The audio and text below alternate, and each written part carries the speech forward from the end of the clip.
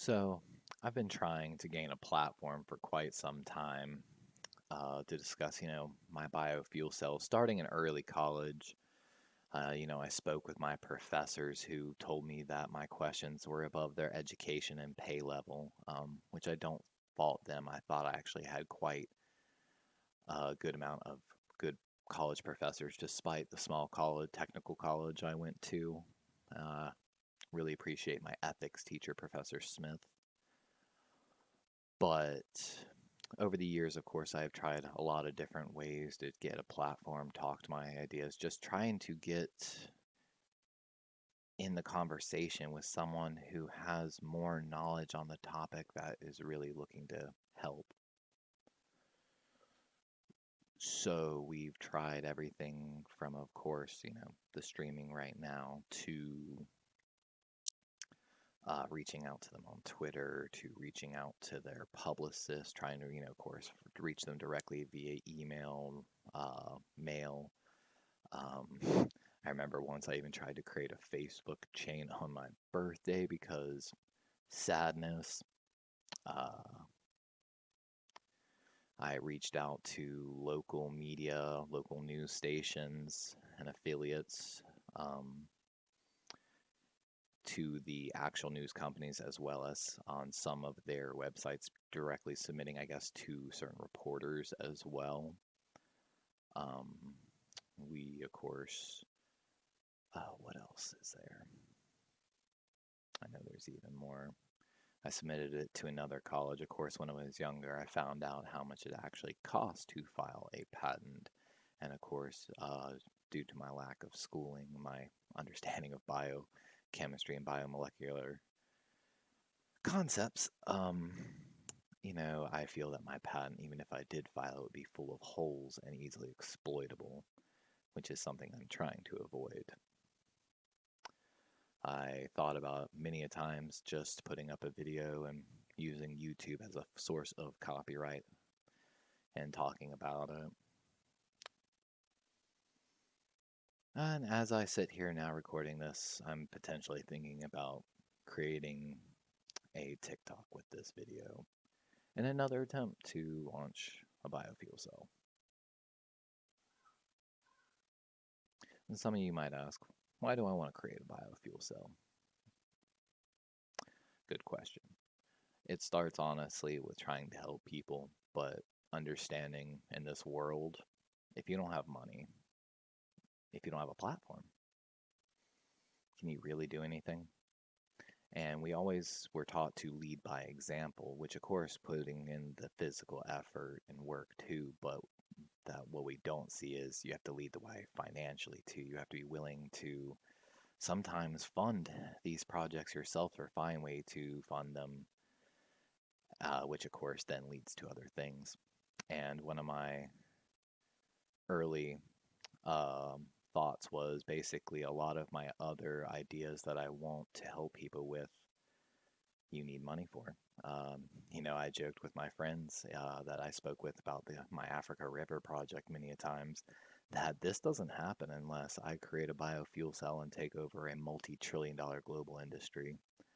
Um, you know, and so, the course, the problem always is a lot of times once people become so rich? How is it? You know, it's hard to resist the urge to, you know, go out and live this luxurious life. You worked very hard for it. Um, you know, but at the same time, uh, I don't know, man, if it's I just always grew up dirt poor or maybe, you know, my internal strife in life and you know uh, dealing with suicide and all that kind of stuff changes your viewpoints on on life. Uh, i actually wrote in my sociology class how i feel like working with children was an eye-opening experience for me. It's how i met my girlfriend at the ymca you know i hope those kids are doing so well. I, I think about them so often honestly I like I told my kids, I don't want y'all to live a okay life. I want y'all to live a better life than me. I want you to honestly be able to come back in years later and brag about how good your life is because that's I mean, it's what we all want for our children. We want a better life than we had for our, our children, which I don't know. I wrote how I feel like more people should work with children, but at the same time, working in the YMCA, I saw many people who did not care about children that were working with children, and uh, sad, very sad.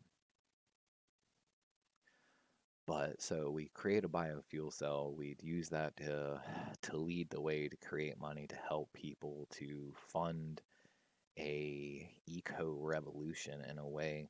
Um,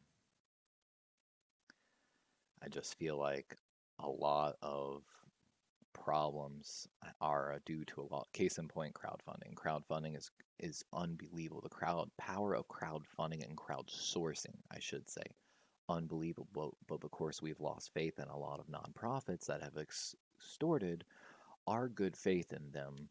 Um, you know, the Red Cross took a lot of heat over Haiti. Eh, and if you don't think that their donations dipped, um, you know, we see constantly on crowdsourcing websites scams, and I feel like, and originally my name of my nonprofit that I wanted to start was called the One Foundation because you know we're all one, but that's a whole nother topic. I once discussed with someone being able to find a common ground with someone. And actually, someone put it to me best it's not middle ground, it's common ground.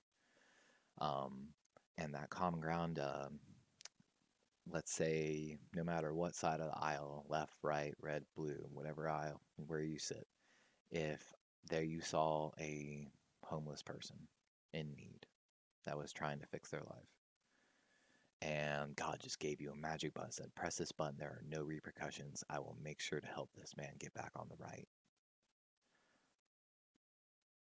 I think 90% of humanity would press that button.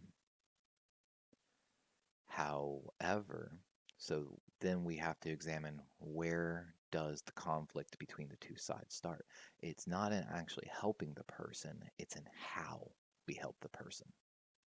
And then we especially now, are so polarized that we just don't discuss rationally either side, and it's just both sides saying whatever they want and no one really discussing the issue at hand.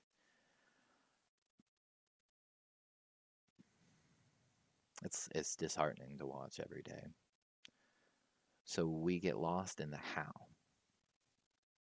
But I feel like there's because we can find the common ground if you can continue just to boil away at points and figure out a common ground, a common, at that point, I should say, a middle ground on the, based upon the common ground, then we can actually create effective change.